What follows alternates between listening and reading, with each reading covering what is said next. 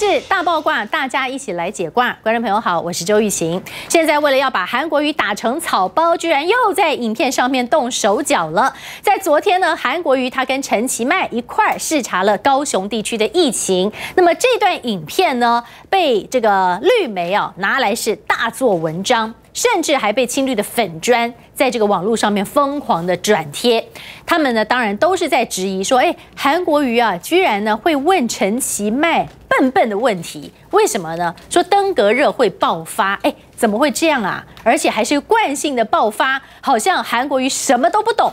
但是呢，韩国瑜他真的明明不是这样在问问题的啊。在今天早上呢，其实韩国瑜他还再开了直播，再度的来还原当时的真相。当然，他也痛批这断章取义，哈，简直就是像。丐帮的行为，好用影片在刻意的剪接张冠李戴，还移花接木。过去已经有好几次的记录喽，现在还要再继续用这一招来做，这是算假新闻吗？好，只想把国语打成草包哈，那凸显什么？凸显奇迈是暖男嘛？苏贞昌不是还有秀出海报说，现在要对抗登革热的话是不分蓝绿，但是呢，其实他的用意还是要告诉大家说。真的还是得靠我们民进党啦，因为呢，你看中央拨款，还不是陈其迈拿了钱。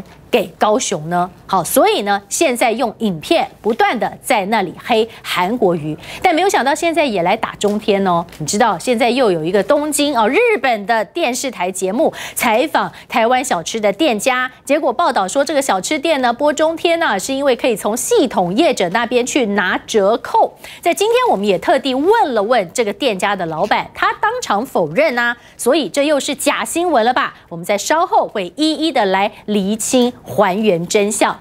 另外一方面，就是民进党现在他们不但是没收公投，甚至呢，连出包的官员都可以高升。哎，比方说吴鸿谋，还记得他吗？当时因为普优马事件下台了，但是现在竟然是要当中华邮政的董事长。在今天节目当中，我们都会一一的讨论。首先来介绍今天节目当中几位来宾：中国时报社长王峰王社长，主持人各位朋友大家好，好欢迎这个呃国庆大哥，好玉琴哥大家安，好资深媒体人谢寒冰，主持人好大家好，桃园市议员黄静平，大家平安，好再为大家为他这介绍哎两位美女哈，立法委员李彦秀，大家好，还有前立委张家俊，大家好。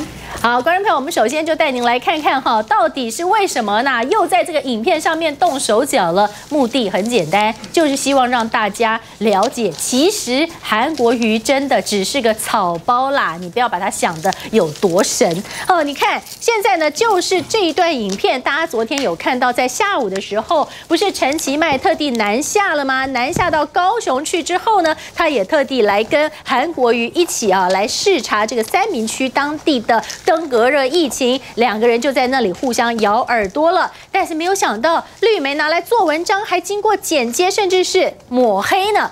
当你看这个是绿媒的电视台，他们这个标题是怎么下的呢？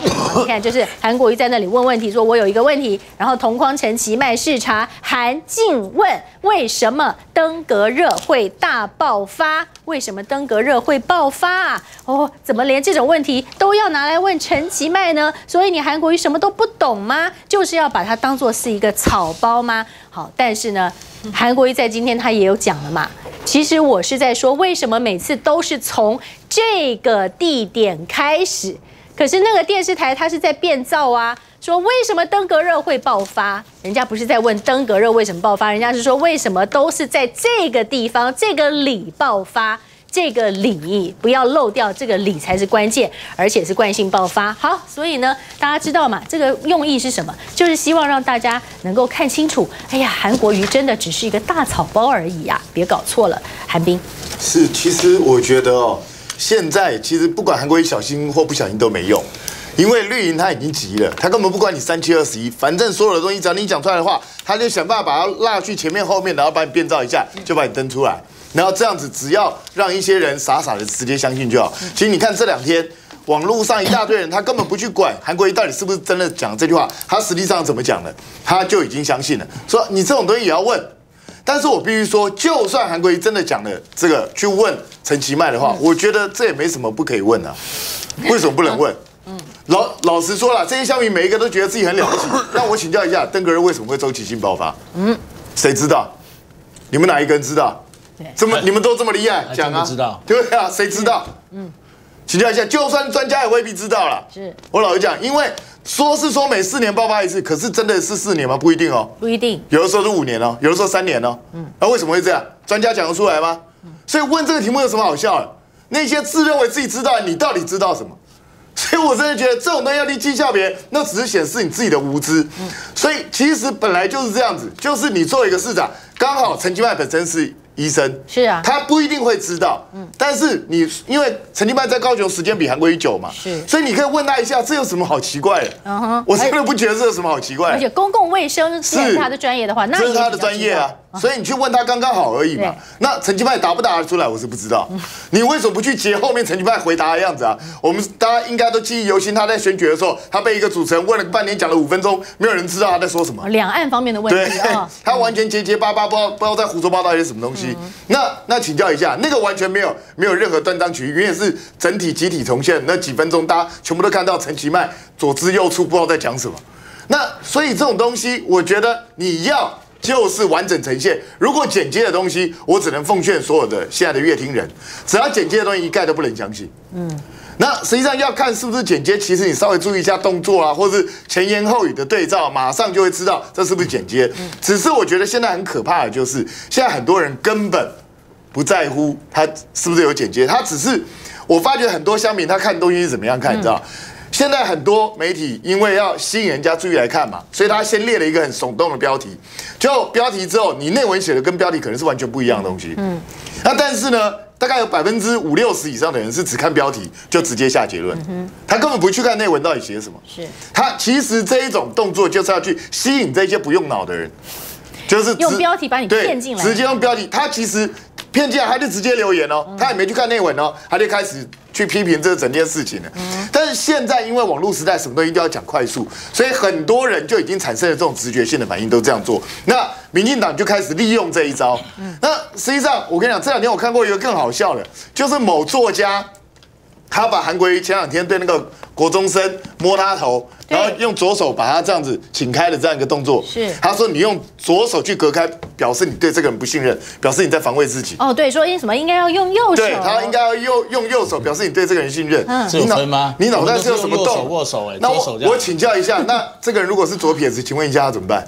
表示左撇子天生下来就不信任别人，嗯是这样的意思吗？嗯，这个根本就是在鬼扯，只是要入人于罪。你那天所有看过影片的人都知道，他左手摸完他的头之后，顺手这样请他过去，对这是一个顺手的动作嘛？不就是这样子而已吗？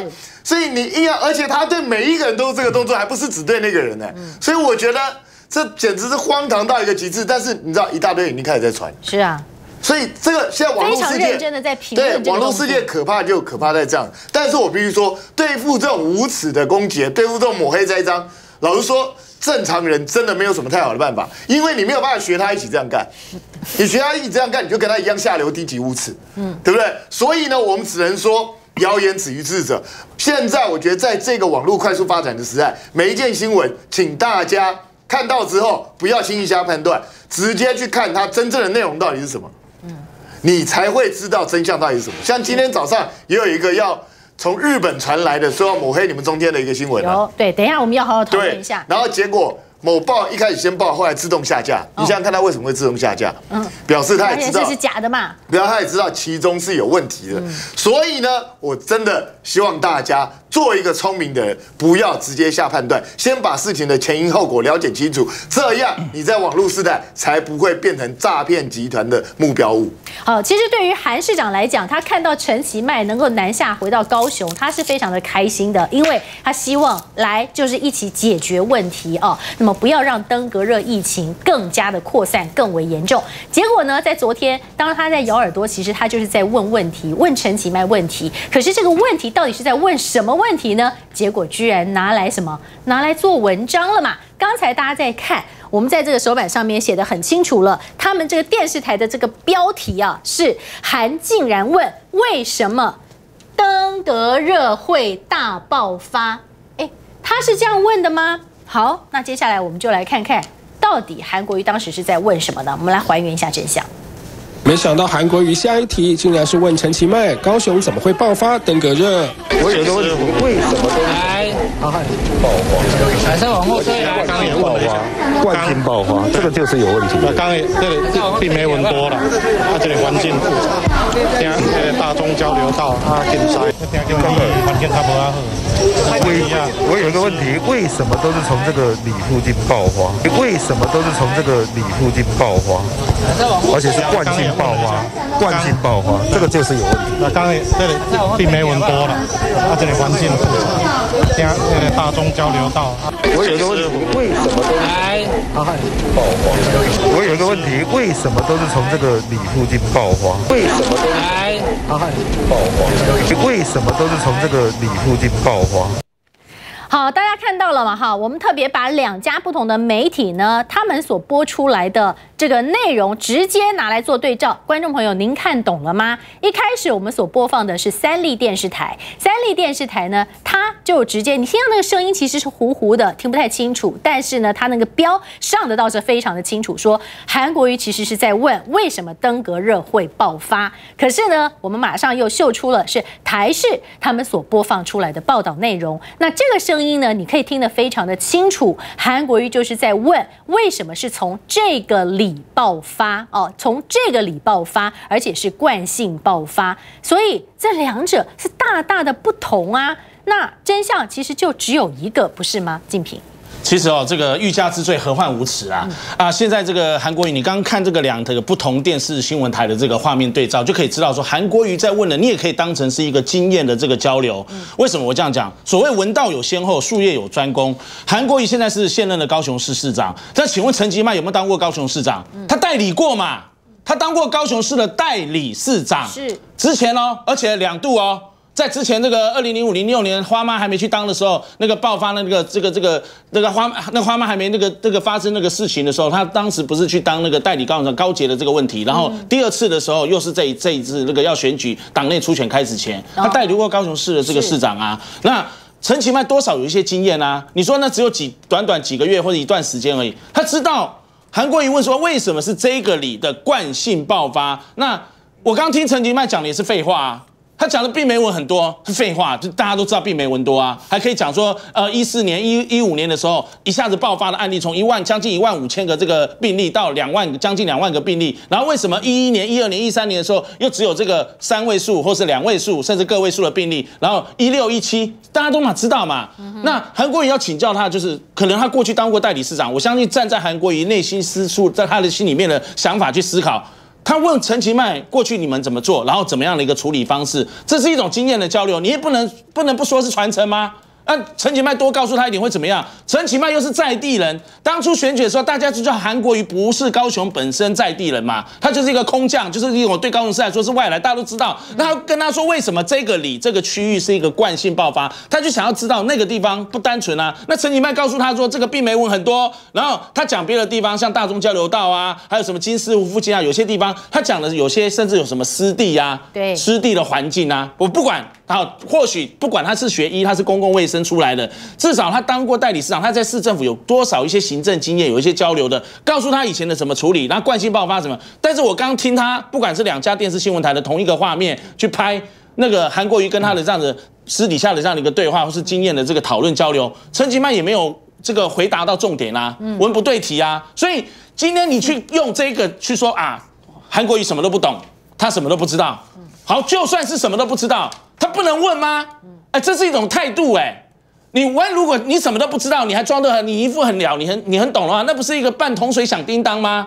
那韩国瑜至少他把他真实的一面让他知道，说，哎，他其实不管是不耻下问也好，或者是他想要探究原因，他的惯性爆发在哪？就像刚刚斌哥问大家，其实我们也讲不出来啊，除非那个是不是好自称为好像很懂文字的这个议员，那个只会翻白眼，那你去讲出那个所以然来，什么叫惯性爆发？为什么都是那个里？为什么是那个顶经理？为什么是那个交流道附近？为什么是那个湿地？为什么那个环境？你告诉大家，你把生物学家都找来啊！所以市长做一个行政统筹的，他们讲说，哎呦，你到底是谁在当市长啊？开玩笑，陈吉曼，我刚不是讲过，也当过代理市长啊。现在的确是，他是行政院副院长，贵为副院长之尊。那跟韩韩国瑜去那边，我跟你讲，今天用这种方式啊，就是两个黑白脸唱双簧啊。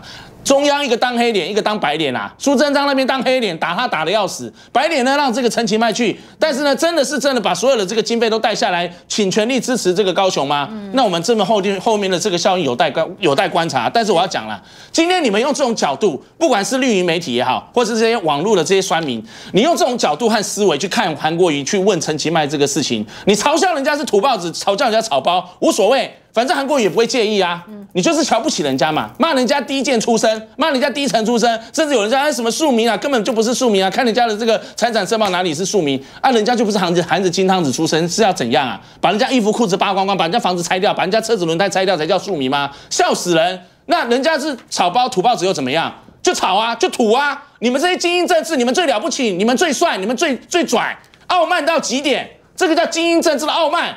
读过几年书啊？你读过七年、四年、八年、五年书，还是研究所博士、硕士，很了不起啊？又怎么样？人家去问又怎又如何？当一个父母官，他没有把说自己的说，好像官大学问大，用这种方式去学，用这种方式去了解。这不是 OK 吗？那有好什么话好说了？而且拿这种媒体做，拿这种画面做新闻，这不是遏制媒体的行为吗？好，观众朋友，我们先插播一个最新的消息哈，攸关于重大的民生交通哈。这现在您看到了，我们特别上了一个标题，是在六月二十号，也就是从今天开始下午四点钟，长荣航空要正式罢工了。长荣航空从今天下午四点钟要正式的罢工，因为在刚刚最新消息是长荣航空劳资双方协商破局，所以从待会的下午四点钟。就要正式的罢工了。好，那到底要怎么样来收拾这个残局呢？因为毕竟很多的航班都势必要受到了影响。那么当然呢，也因此我们会持续的关注，也要请持续锁定我们中天新闻的随时的报道。在刚才我们收到这个最新消息，立刻为您做插播。好，回过头来，我们刚刚在讲的是。韩国瑜到底问了什么问题？其实就很清楚，因为在刚才大家看到第二支的影片是台视他们所播放出来的报道内容。那么这个报道内容你可以就听得比较清楚了。不知道是不是因为麦克风凑得比较近，所以呢，在记者可能比较近的情况之下，能够拍到会收到比较清楚的声音。结果这个比较清楚的声音，他告诉你的就是韩国瑜问的是为什么都是从这个里附近爆发啊？这个里附近爆发，而不是像三里所报的，为什么登革热会大爆发？两者真的有差别哦。但是不管是问哪一个版本的问题啦，哈，如果纯粹我们就是听陈其迈他的回答的话。你觉得，如果今天你要说韩国瑜是草包的话，那陈其迈你就不是草包，是可以因此比较加分，显得比较专业吗？这点我有点不解，我要请教一下燕秀委员，因为怎么说？因为如果说他是问为什么登革热会爆发，他说并没闻。哈，那如果说为什么都是从这个里附近爆发的话，哈，事实上是问这个版本嘛？是为什么都从这个里附近爆发的话，陈其迈怎么回答？因为并没闻。好，而且他也没有直接的回答说为什么都是从这个理哦，是是，所以你觉得呢？韩国瑜问的是重点，关键是陈其迈不敢。不能好好回答哦，呃，三明区是过去谁的立委选区？是陈其迈，陈其迈的立委选区。但是现在民进党断章取义，或者是黑韩的这些这些影片哦，其实已经用到无所无所其极。这个选区既然是陈其迈的选区，大家其实今天可能连小学生大家都知道为什么会有登革热，当然是病媒蚊的问题。但是重点是为什么会在这个里爆发？大家都知道。登革热的问题是在于环境的问题，是在于排水的问题。这个区长期是传统的老旧市场区，是好。如果过去有很大的数据，是过去的好几年，连续好几年登革热数据非常高。后来我们成立了高雄的病媒蚊防治中心，我们有所谓的呃这些呃国卫院的人员，对于所有的热点有去做监视，然后去教导所有的职工也好，环保局也好，怎么去清理。地方让地方没有积水，让草不要长得太高，让病媒蚊不容易并并不容易滋生，所以这样有机会降低我们所谓的呃登革热的病媒蚊。但是重点防治怎么样来做，让这些积水让草不要长得太高，当然是过去的下水道排水能不能清得更好。嗯，但是我们都知道。排水下水道或做这个呃卫公馆啊，这个下水道这个呃所有的排水通，这个都是地下的工程。过去市政府长期二三十年，为什么不做？城区市政府为什么不做？为什么把所有的建设经费的资本们拿去办活动？这就是韩国瑜问的，哎。为什么都在这个里？这个里为什么老是是热点？是热点，其实我们只可以说，呃，是是是是标的方式，把草除一除，把排水清一清。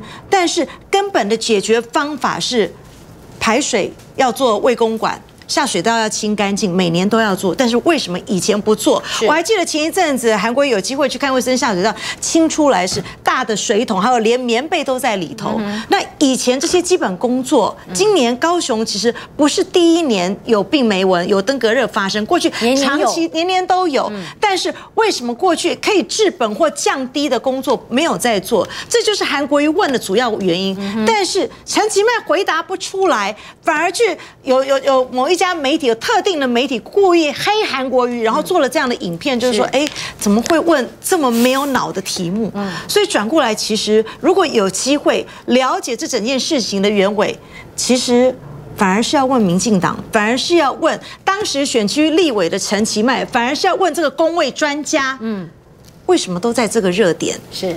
所以啊，这个陈其迈也没有真正就这个问题好好的回答嘛。那等一下呢，我们当然也会来了解一下这个今天呢，韩国瑜他特别在早上还开了一段直播，也对于这件事情他也做出了最新的回应。另外一方面就是我们在刚刚所插播的最新消息是桃园传回来这最新消息哈，竞品你可能要关注一下哈，因为长荣航空刚刚就说协商破局了嘛，破局了，所以当然等一下四点钟开始就要罢工喽，到底会有多大的影响呢？马上回来我们持续关心。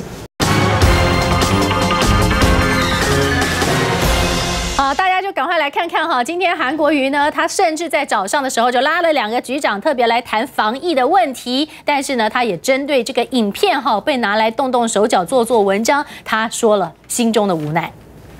陈其迈副院长，第一个他本身学的是医学嘛，第二去三明区是他的选区啊，第三我就要问，为什么每一次都是由这个点爆发的比例比较高？我要了解，就是说为什么这个点比较高，到底是什么原因？我们自己有进行了解。那陈院长有陈院长的分析。最后，我们也做了一些突破。我们发现那边有一个湖叫金丝湖，大家聊啊聊啊，那人多就会出诸葛亮。我们就想把这个湖水太低，把它拉高，放水进去，因为旁边都杂草。这个水一提高之后，这个蚊子的后代叫绝绝，鱼就会去吃。就可以把杂草里面的蚊子的绝绝，想办法把它吃掉。但有人要黑，去剪了一个剪辑，好像我们个大草包去问一下陈其迈副院长。那你现在网络上要黑，要不谈不谈剪贴，剪贴完毕以后来批判我们，那我就没有办法。好，接下来这个问题就要好好的来请教一下国庆大哥了哈，因为我刚才知道原来国庆大哥你正经的大虾护军哦。我去到。因为金塞欧也好，差不多三分钟骑机车，就是隔壁里而已啊，隔壁里而已啊，所以这个这个问题哦，应该韩市长问我就知道了啦。不是啦，他问陈其迈，所以 其迈答不出来，应该国庆哥来回答其迈答不出来就蛮奇怪的。好，来，那国庆哥你先等一下哈，因为我们要听一下。韩市长现在在接受媒体的联访哈，我们先来听一下这个最新的内容。来哦，航线的部分会再增加吗？对，今天香港总商会在香港已经创办了一百五十八年，是西元一八六一年就创办，是香港最大最重要的一个企业家联合起来的一个商会。那么大概有三十位左右，调查好像有十多位都第一次来高雄。显然，过去他们对高雄是陌生的，所以今天香港总商会黄柏林议员的安排，还有总商会的主席于主席一起来，我们非常的高兴。他跨了很多工呃很多行业，包括电信、不动产，还有这个还呃还有金融，然后还有一些医疗。还有一些零售业，它各个行业都有，所以我们高雄人、高雄市政府热情的欢迎他们，非常感谢他们。是昨天还有那个海产的那个总商会也有最近香港的团体很多。昨天下午是香港海鲜总会来，那么他们过去几年来跟高雄采购鱼，还有各种放呃相关的水产品，今年他们决定对高雄加大采购，增加百分之五十。呃，我们非常高兴，这个对于高雄的养殖户跟渔民来讲是一个大好的消息。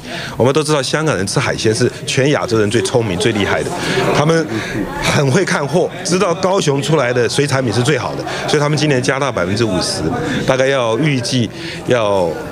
可以增加更多我们高雄的这个收入，所以我们也是非常感谢。昨天是香港海鲜，今天是香港总商会。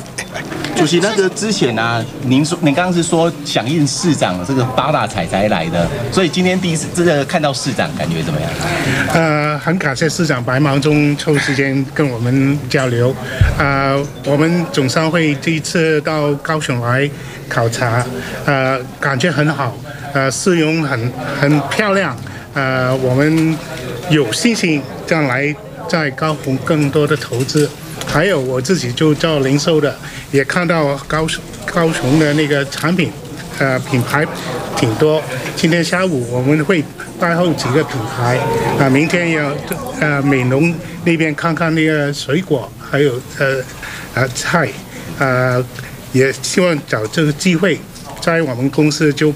办一个高高红节，高雄市的产品节，推推呃推推呃推销那个产品，还有就是文化旅游一起来，太好了。那市快什么时候可以在高雄投资？有没有时间点？啊，我们回去呃会带回去很多资料啊，投资资料呃。给我们的会员，他们自己会再再跟你们对接，跟有关的部门对接。呃，我们认识了这经经济发展局投资部的同事，呃呃长官，啊，以后我们会跟他们更多的呃对接。那市长明年这个时间有可能会变总统了。我们这都做生意的，做生意的。好，好，谢谢，谢谢，谢谢，谢谢，谢谢，谢，谢谢。对。我们产品比较有兴趣，谢谢。问商品可以来，问商品引导的。你要问政治，他们做生意，他们昏了。市长吴一鸣在美国演讲的时候，他提到谁？吴一鸣啊，是。他在美国演讲的时候提到说，市长身边的人都像是黑金体系的人，像是萧景田呐这样子。那对于他这样的说法，你怎么看？呃，尊重他的说法。好，请继续。那个华侨说有捐了三千万，有已经到位了吗？他们是怎么样说？没有，华侨这两天看到高雄登革热需要钱，然后自动自发。然后那天在凤山户外开讲，也有现场很多高雄乡亲呢，热情。然后也养起来，都要捐。但是站在高雄市政府立场，我们非常感谢大家，请大家暂时不要捐款。我们市政府的预算能用的，以及中央行政院对我们的补助，因为本来消灭登革热就是我们分内之事。那我们感谢这些华侨还有高雄市民热心的朋友。但是有一些弱势族群，特别需要照顾的弱势者，如果有一些善心人士的捐款。高雄市政府是非常感谢的。哎是那个化学兵，您之前呢有需要说那个要化学兵，不过军方好像说市政府好像没有申请过。我们想一个状态，如果这时候化学兵突然来高雄市，怎么喷药，范围在哪里，如何有效的使用这些药物，他不见得了解，所以一定要先沟通。我们环保局整个这两天就会去军队里面跟他们沟通，告诉他们范围有多大。需要喷什么药物？要注意什么是死角部分？军队受训的是军事训练，现在来帮助民间来喷洒、消灭登革热的这些药物，一定要有一套互相对接，然后互相了解的过程。这个都没有做好，我们突然递这个公文，我想并没有办法达到那个效果。另外，跟各方面报告，我们预计七月一号开始就请化学兵正式进来。这几天要做什么？要沟通。没有经过沟通，这个军队来，他不知他不知道怎么去做的，而且效果呢会事倍功半，打折扣。所以这几天我们最重要是沟通啊，这个没有问题啊。为什么还会有人挑剔我们？我们实在是搞不清楚。市市长现在有一个说法哈，是说因为我们户外喷药做的很勤，但是室内有可能会被忽略，那埃及斑纹的部分会 非常有道理。如果我们一直注重在室外的话，室内把它忽略掉的话，的确是会造成埃及斑纹滋生。所以我们要。每一个星期三都是反登革日，所以这一次我们要拜托整个高雄市民动起来，自己在户内把该做的这些事情都要做好，大家一起，政府跟人民一起来团结努力，再加军队的帮忙，我们希望这个登革热能够整个被扑灭掉，好不好？来，您您刚刚问的是什么问题？对不起。那个上一次呢，有人侵入民宅，就是去消灭登革热，是像军队一样。那这次会不会有这样子的行动？我，我想这都有纪律的，好不好？我们一切请军方来来支援，他有他的步骤，有他的纪律，有他的程序啊。我想这个都是可以沟通，没有问题。我们七月一号才喷药，会不会要缓不积极？你说什么？会不会担心会买七月？七月一号是军队来支援，我跟再跟大家报告一下，高雄市政府所做所有消灭登革热努力是 A B C D 的 A，请军方来支援是 A B C D 的 B，我们希望 A 加 B，但是军队是七月一号动，那我们该做的 A 一步都没有停。我再说一遍，高雄市政府该做的扑灭登革热的所有的预防动作，一步都不会停。那七月一号以后再加上 B，就变成 A 加 B。这样一讲，大家就很清楚，不是我们现在每天傻傻的在等七月一号才开始，那怎么可能呢？这个防疫真的跟作战一样，我们没有一天像今天早上我又主持了防疫会议，我们就是一定会全心全意的，请市民朋友能够信任政府，更重要来配合市政府，我们一起来努力，好不好？好，七月七号，七月七号国民党有一个反黑箱作业，谢谢大家，谢谢，好，好，谢谢大家。七月七号，好，观众朋友，刚刚我们看到了哈，一方面强调就是登革热的这个疫情，我们持续要做好。七月一号化学兵就要进来了，那么现在高雄市政府该做的事情一刻都不会停。这是刚才呢听到这个韩国瑜市长重大的一个宣誓。而此外呢，你说登革热的疫情，当然一定要好好的控制住啊，否则哪敢来高雄投资呢？甚至是来观光呢？好，刚才讲到了投资。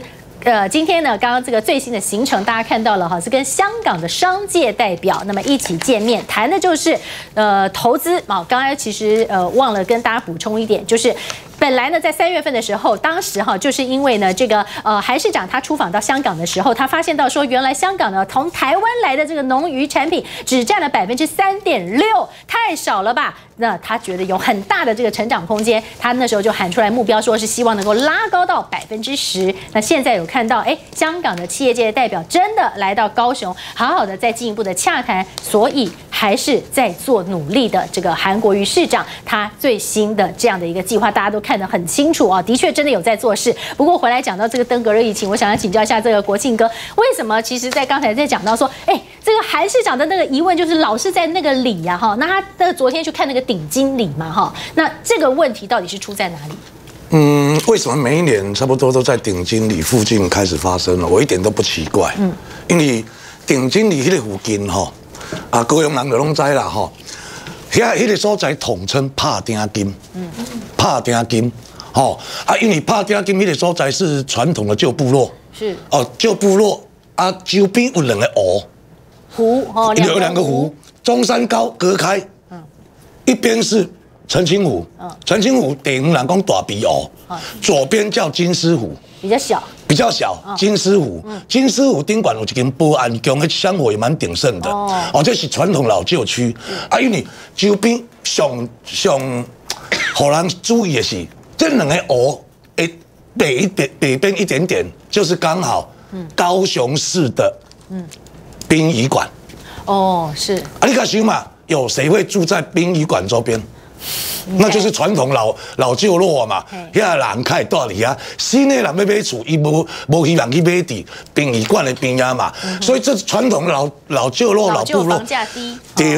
啊，所以讲你得了解讲是安怎，因为阮人来学嘛，学的边啊一定有浅滩嘛，浅滩一定有杂草嘛，杂草就是决绝寄生的地方，啊个湖两个湖，是不是很多水沟？会通往这个湖？水沟如果淤积的话，啊，到尾也是咪塌伫这个所在，塌伫这个所在，所以伊遐统称拍丁金，所以这个所在吼，伊周边啦吼，大玉路啦、本关路啦、本关路、本关路吼，啊个金鼎路、鼎冲街，啊个鼎金后路，都是在这周边附近。所以都假燕秀讲一句话，做健康来讲，环境的问题。对，人最好的居住环境就是蚊虫。最不好的居住环境，相反的，人最不好的居住环境就是蚊虫好的滋生环境嘛，这相对的嘛。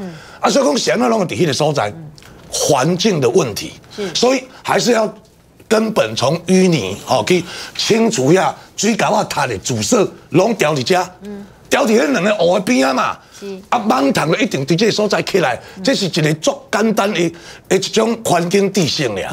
所以讲吼，我还是建议当地的居民吼，应该要配合市政府的宣导，周边的环境你爱去整理啊，但是有足济是无大人啊，你可比讲丁清湖拍丁金的边啊。殡仪馆，遐就无大人啊，遐周边全部都是什么？都是丧葬上一社的公司据点而已。他们只是上下班在那边，其他时间不是他居住的环境，所以问题的出自在环境的问题了。嗯，好，但是呢，如果要讲这个环境是怎么样的话，其实陈其迈应该要很了解才对啊，因为啊，在早在二十三年前那时候，他就已经在那里来设置他的服务区了哈。那呃，委员，我们很好奇哦。那你看，那像这个这次他特别到了这个南下，然后到了高雄，然后还跟这个韩国瑜市长，你看他的动作频频啊。但是呢，偏偏我们大家就在想说，哎，这个到底你是在这边想要凸显出来，就是说今天呢是韩国瑜比较不专业，所以专业的让我来，或甚至你可以把它联想成说。今天你到了这个呃韩国瑜啊，要要钱你要不到，所以真的要钱的时候，也只有靠我陈其迈才有办法，我才是真正的高雄市长，是这个意思吗？呃，其实哦，我在这里有感觉，对于韩国瑜市长哦，非常的不舍。他到行政院去开会，也只是希望解决这个登革热的问题，但是在苏贞昌院长的百般羞辱哦之下呢，又被他酸，然后又被他扭这个扭曲事实哦。那我想要问的就是说，假设今天是这个陈其迈担任市长，嗯，行政院会这样做吗？所以我觉得哦，呃，苏贞昌院长哦，这样子的这种。有成见的行政方式哦，其实我觉得很不能接受。为什么呢？我觉得他就是利用行政权，在帮蔡英文打击他最大的假想敌，然后用蔡英文，呃，就是在帮蔡英文哦，等于是在铲铲除他的政敌。那另外就是说，他我刚才觉得说，静平兄说的很对，他们就是一个唱。就是唱双簧，一个半黑脸，一个半白脸。那其实高雄市政府两张脸，对，高雄市市政府已经在二月、五月都已经提出说，哎，可能会有登革热的问题，但是行政院都不予回应，要一直到。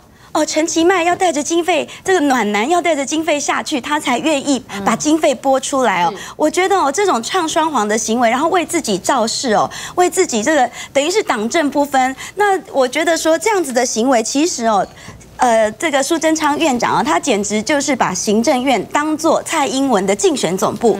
那我们的苏贞昌院长就是竞选总干事。嗯，那当然，我觉得说。呃，这个媒体不应该去扭曲，不应该去扭曲事实，应该是事实的这个呈现它的事实。这韩国瑜。他是博士，怎么会是草包呢？对不对？但是大家要看哈，这过去其实用影片来黑韩国瑜的例子还不够多吗？你想想看，之前不是才在讲说，哎，在一个餐会上面，结果有一个阿妈哈，那他呢居然还拿了东西塞给韩国瑜，哎，这个上面是红包，红包意思就是说是塞钱给韩国瑜吗？收下了什么钱啊？但后来我们经过查证了之后，这才知道原来根本只是一个吉祥物而而已哦。还有，你看。这个画面说韩国瑜的嘴巴一直动，一直动，到底是怎样？是有嚼槟榔的习惯吗？说他嚼槟榔，但事实上他的习惯只是要吃茶叶，吃茶叶。他说既能够提神，而且呢还可以消除口中的气味。他都已经讲过很清楚了。像类似像这样的例子还不够多吗？可是现在一而再，再而三的再继续的拿影片来做文章。俊哲怎么看？我觉得本来网络上就有各种不同的文化了，那喜欢的很喜欢，不喜欢的自然会找一些点来攻击。是，那我看这次其实韩国市长跟陈其迈，我觉得是很正常的交流啊。那中央既然拨了这个钱下来，也要知道一下到底高雄市政府做什么样的准备嘛。那双方如果还有什么欠缺的，可以来做互补。那像刚刚国庆委员所讲的，其实地方还有很多的问题要来解决嘛。那当然，市长这边可以会诊更多的问题给中央。我相信他们不是这样片段的交流啦，只有一两句恐怕没有办法来解决整个高雄市登革热这个防疫的问题嘛。那可能地方应该有做什么样的清理，那或者中央化学兵什么时候来？我想这才是一个目前高雄市要来面对的一个重点。那我不相信韩国瑜市长哦，你看刚刚看他的回答，嗯，其实他都有做很好的准备了。是。那中央其实要做的事情，也就像我过去一直来讲的，只要其实高雄要的预算，其实中央能赶快来拨付，那让中央地方能做很好的合作哦。那我相信目前孙昌也没有要选举啊，那陈其迈应该也不可能在这次二零二零有什么选举的位置了。那可以把事情做好，我相信无论对中央对地方。都是很好的事情。嗯，好，今天呢，其实哈，只要是韩国瑜的什么都不对。比方说，就算呢，他们现在拿的这个钱，可能来做的事情都是被质疑的。大家看看，又有一个例子出来了，就是质疑这高雄市政府里面有个预算是边境检疫奖励的礼券一百一十三万。这个为什么要有一个这样的一笔经费呢？哈，结果现在哈，你看啊，他们才刚质疑完，结果大家才赫然发现，其实这早在陈菊花妈主政时期，在二零一六年就已经有的惯例了。这不就是又是自己在打自己的脸吗？稍后回来我们继续讨论。好，刚才我们举出来这个例子，就是说，这个现在呢，对于高雄市的这个用钱的方法，他们这个呃绿营非常的质疑，甚至还说，哎，为什么你要花一个钱？怎么还有什么礼券啊？哦，礼券奖励什么意思啊？哈，但是呢，高雄市政府都已经提出来解释，这根本呢就是。已经是早在前朝就已经是编列的哦，所以换句话说，不要这个随便的打脸韩世府，否则的话真的会打到自己了哈。另外呢，我们就要来看，现在你说是不是真的？哎，像他们这个行政院他们讲的，其实啊，你要钱，我两天就给你过了啊。你说，哎。高雄申请五千三百多万，我们行政院是两个工作天就审完，而且全额同意啊。所以陈其迈告诉你的就是说，我们真的该给的都没有少啊。你看这个上面卫福部还有一个公文说，哎，收收到了这个公文之后，六月十八号就送到行政院，然后十九号就核准了，完全就同意啦。但他们的算法是从十四号收到公文的那一天开始，而且还很辛苦的秀出来说，机关署周末加。班审查哈，所以好像完全不敢懈怠哈，这是他们的说法。可是呢，我们就要来问了。其实早在二月份的时候，当时高雄就已经出现了本土性登革热。二月十九号，高雄就去请中央补助；五月二十一号，高雄又再次的请求补助了。那你怎么不从当时二月份那时候就开始算起了？那一直到现在到六月十九号，你中央才终于拨款补助了。所以换句话说，到底有没有拖延而足足？拖延了四个月的时间呢，所以这个时间的账到底应该怎么算？韩冰是，其实四个月的时间真的可以做很多事情那如果说是以高雄市政府这边二月，我们二月三号发现第一个本土新登革热的这个病例，如果当时地方跟中央就已经开始在密切关切这个事情，然后大家一起来动作的话，也许今天病例不会这么多，也许现在已经得到有效的控制。当然，现在说这些都太迟了。因为那个是已经过去的事情，是。可是问题是，当时中央给地方的答复是什么？他说要等你这些相关的中央补助款啊、第二预备金全部都用完，是，再来跟我讲。是。那所以并不是高雄市没有要申请，而是我一提这个就被你直接打枪了。嗯。那我们一直在强调的就是，行政院现在故意卡你的康，就是说呢。你是六月十四号才公文才来啊？对，他从那一天才开始。对啊，但是问题是，按照行政伦理的惯例，就是如果你根本不点头，我公文不会送过去。为什么？送去也没用嘛，送去你也不会理我嘛。所以通常都是你点头确定要这样做了，我才会发公文给你。公文对。所以呢，之前在二月讲的时候，就是中央根本不同意嘛，其实就是这样的意思嘛。所以一直拖拖拖拖拖到现在已经十万火急了，然后苏贞昌呢还特别要韩国瑜来开这个行政院院会，刻意剪接影片把他羞辱一顿之后，然后再把球做给自己人陈其迈，然后再来弄。是啊，所以这是什么？这是民进党借由登革热演的一出戏嘛？不就是这样？很明显昭然若揭啊！嗯，他故意就是要等，他在等疫情扩大。老实讲，民进党毕竟南部，他台南、高雄，他执政这么多年，他很有经验的啦。嗯，因为所有人都知道，去年那个年年尾开始，一直到现在，这是七十二年来高雄最热的一段时间。那你天气热，雨水又多，对，登革热一定不会少。是，这个是可以预期到的东西。所以，我我个人认为，以民进党在中在南部这么丰富的执政经历，他早就知道一定会爆发。所以呢，我就故意等你。我就等着你来，这样很残忍哎。我我老实讲，我这是非常合理的怀疑，这是谢长廷告诉我们的，合理怀疑都 OK 的。这攸关人命啊！是啊，如果真的是这样的话，我觉得这是非常可怕的一件事情。你完全在把高雄市民的性命当做你政治上的筹码，当做你歼灭你的政治敌手的工具，这是非常非常可怕的。然后一直等到。这一切他们的动作持续完毕的时候，陈其迈现在下去了。你看现在网络上一四五零马上配合了。你看陈其迈才是真正的市长啊。是。然后一切做多好多好多有风范啊。那韩国瑜多草包啊。问题是我刚刚看到陈其迈的回答，也我也不知道他在回答什么东西啊。我说真的，他他也是讲的结结巴巴的一大打，不知道在说什么。但他也是工工位的专家不是吗？工位专家如果是这样。我真的不知道他的教授长什么样子，我真的很想去请教一下，他这个学位到底怎么拿到的。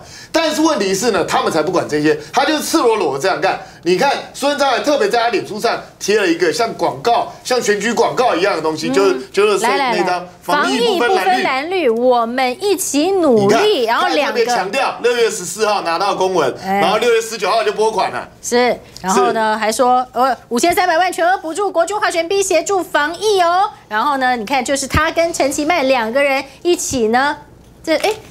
不是说不分蓝绿吗？没有看到韩国瑜在上面。我跟你讲，不分蓝绿又没有蓝绿，只有我绿的，只有只有绿的哦，只有绿的哦。所以 所以不用分了啊，因为只有绿的嘛，所以还有什么好分的？不分蓝的绿。是啊，那问题是，你有没有注意到这两个人？你们是防疫的主管吗？其实不是，对不对？你如果照理来讲，应该登这个类类似这个广告，而且不应该只是登在你的脸书上。嗯，如果真的要是用宣导的方式，你应该让全国人民众都知道。那应该是机关署啊，或是这卫福部啊，这些人出来呼吁，怎么会是以行政院长跟副院长？我第一次老实说，这应该是中华民国第一次防疫是由行政院院长跟副院长出来，没有错，应该从来没有做过这种事情吧？这是非常非常诡异的一件事情。所以这摆明了在干什么？在帮自己打广告而已。然后他打广告的目的干什么？就是利用高雄市民的不幸来帮自己打广告。你说这还不够恶劣吗？然后居然还有一四五零可以歌功颂德，讲他们把他们讲的多厉害，你不觉得这是很低级、很可耻的一件事情吗？但是我老实讲了，这世界上最可怕的就是这种人，不要脸的人最可怕。因为他都已经不要脸了嘛，他觉得就我就是这样干啊，反正我有一四五零可以支持我，再帮我敲边鼓，那有一堆傻瓜会相信我，我干嘛不这样干？我要脸又不会对我有什么好处。所以他们现在就摆明就这样做了，然后呢？这些傻瓜就傻傻的被他骗走了，所以我真的觉得你们可以继续这样干，没错。我相信台湾聪明人还是比傻瓜多的，大家很快就会看清楚你们内心的险恶，你们真正可耻的地方。五千三百万，这个韩国瑜急得要命的这些钱呢，现在陈其迈带下来带到高雄了。韩国瑜当然是充满着感谢，很开心，因为这对大家来讲都是救命钱。可是等一下我们要好好的来问问一下这国庆哥，这个五。千三百万里面其实有很多很多的政治算计呀，韩国瑜可要小心了。为什么呢？马上回来告诉你。